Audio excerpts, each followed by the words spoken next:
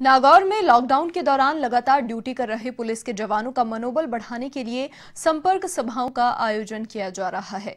इसी क्रम में पुलिस लाइन में एसपी विकास पाठक ने पुलिस के जवानों की समस्याओं को सुना और उनकी सराहना कर मनोबल को बढ़ाया। इस दौरान डॉक्टर पाठक ने कहा कि कोरोना से देश को एक लंबी लड़ाई लड़नी है और ऐसे में जवानों को मानसिक रूप से मज़बूत रहते हुए सावधानी के साथ ड्यूटी को अंजाम देना है।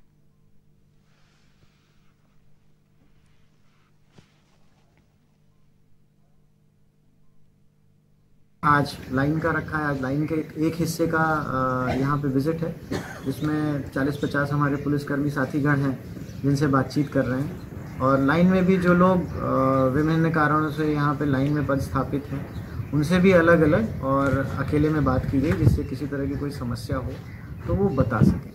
आशय यही है कि इतने दिनों से लगातार मेहनत करते थे हमारे साथियों का मनोबल अभी हमें और आगे जो कोरोना के संबंध में ड्यूटीज़ करनी है, उसके लिए बना के रखना है। और अगर कोई बात है जो, जिससे कोई भी व्यक्ति परेशान है, हमारा कोई भी साथी पुलिसकर्मी परेशान है तो उसका निस्तारण कराना हमारा फ़र्ज़ है। उसका निस्तारण करके उसे निश्चिंत रखना और अपनी ड्यूटीज़ बिना किसी शंका के करने के लिए तैयार रखना।